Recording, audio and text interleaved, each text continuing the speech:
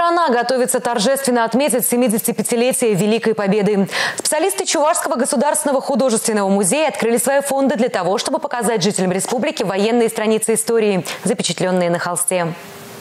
Сталинградская битва – важная веха в летописи войны. Именно с победой в этом сражении началось освобождение нашей страны от фашистских захватчиков. Цена победы была высока. Только на Мамаевом кургане похоронено более 34 тысяч солдат и офицеров, погибших при защите города.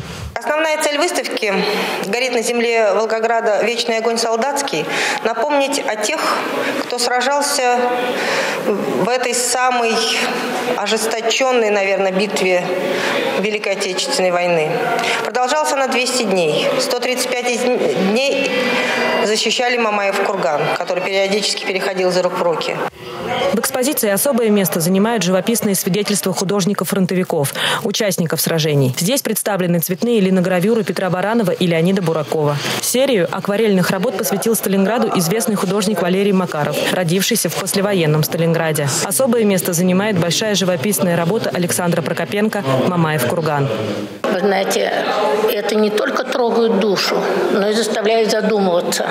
Никогда ни наше поколение, ни последующие не должны забывать уроки Великой Отечественной войны. Это наша с вами жизнь.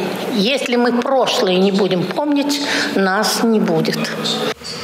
Течение всего года в музее будут проходить тематические выставки. Каждая из них будет посвящена самым важным событиям Великой Отечественной войны. Батальные полотна, портреты фронтовиков, тружеников тыла, послевоенная жизнь страны. Нынешнее поколение не так много знает о великом прошлом нашей Родины.